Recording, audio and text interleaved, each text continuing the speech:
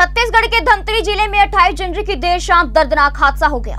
यहाँ गंगरेल बाँध में एक नाव अचानक से पलट गई। इस हादसे में दो बच्चों की डूबने से मौत हो गई है, जबकि एक बच्ची लापता है। वहीं घटना के बाद मौके पर पहुँची एसडीआरएफ की टीम ने सात लोगों को सुरक्षित बाहर निकाल लिया है। हादसे में दो लोग भी घायल हैं, जिनका इलाज किया जा रहा है। मिली जानकारी के अनुसार नारायणपुर से एक परिवार मंगलवार देर शाम करीब चार बजे अलका डोंगरी घूमने आया था। यह सभी लोग वहाँ गंगरेल बाँध के पास पहुँचे और किनारे बंधी मछुआरों की छोटी नाव खोल ली। इस नाव पर परिवार के सभी बारह लोग सवार हो गए और खुद ही चलाते हुए बाँध में घूमने लगे। बताया जा रहा है कि इसी बीच तेज हवा के साथ लहर आई, जिससे नाव का संतुलन बिगड़ गया और नाव पानी में पलट गई। बताया जा रहा है कि हादसे से पहले इन लोगों ने एक टिकटॉक वीडियो भी बनाया। इस वीडियो के बाद ही सभी हादसे का शिकार हो गए। वीडियो में सभी काफ़ी खुश भी नज़र आ रहे हैं। इस वीडियो के कुछ देर बाद उनकी नाव पलट गई। इस दौरान जो लोग तैर सकते थे, वह बाहर निकल आए और बचाने के लिए शोर मचाया।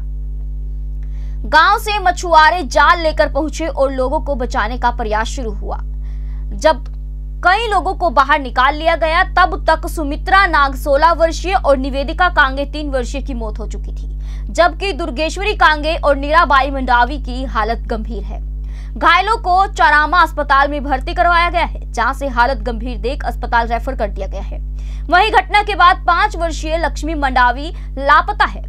उसकी तलाश में पुलिस देर रात तक रेस्क्यू ऑपरेशन चलाती रही, लेकिन तेज हवा होने और बहाव के कारण उसका पता नहीं चल सका। जेबीडी Banquets लाए हैं incredible marriage palace, Rajgharana and the finest banquet hall Jyoti Garden. World class catering, centrally air conditioned, lush green lawns, state of the art lighting. A perfect venue for wedding, launching and parties. Rajgharana and Jyoti Garden at JBD Banquets Enterprise.